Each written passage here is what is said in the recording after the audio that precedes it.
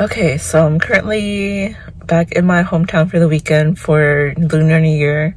Currently in the car waiting for my dad to pick up the pizza that we're having for lunch today. Originally, we were gonna have my uncle's family and my grandparents over tonight for um, for the new year, but um, we're actually gonna be going to my uncle's house tomorrow to celebrate my grandpa's 90th birthday.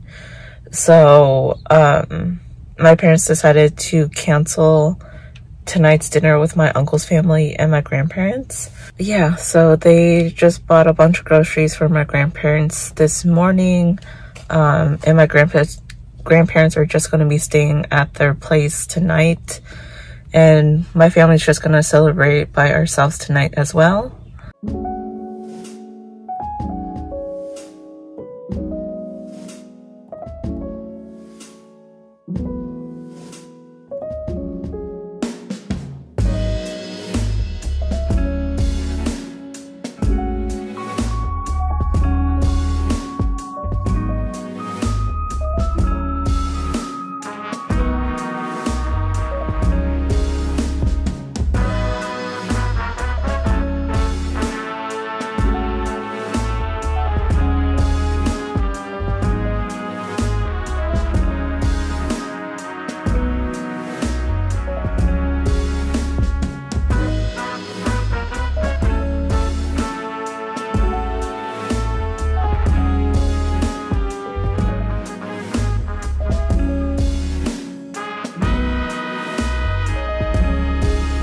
Alrighty, so I just finished watching a movie with my family.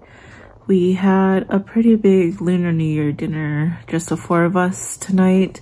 Um, but the movie that we watched was one that my brother suggested. It's called A Taxi Driver. It's basically this movie that's based on true events. It's based on the um, protests that happened in Gwangju, South Korea back in the 80s. It's on Amazon Prime if you have Amazon Prime, but yeah.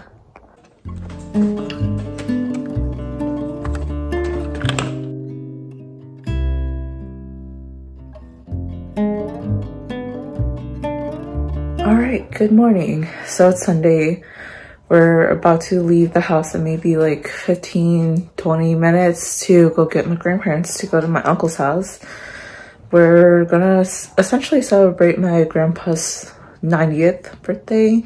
We're just doing a, a birthday lunch since most people have work tomorrow including myself.